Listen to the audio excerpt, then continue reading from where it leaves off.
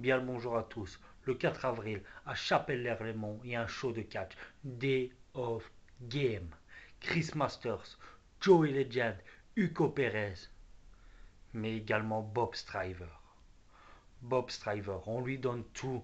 Il a à chaque fois tout ce qu'il veut. faut arrêter cette blague, les gars. Ici, il a un match contre DBH, champion contre champion. Oh, pourquoi lui? Il y en a d'autres à l'arrière qui ont envie de montrer leur potentiel. Donc le 4 avril, ce match aura lieu, mais cette injustice sera réparée. Soyez présents.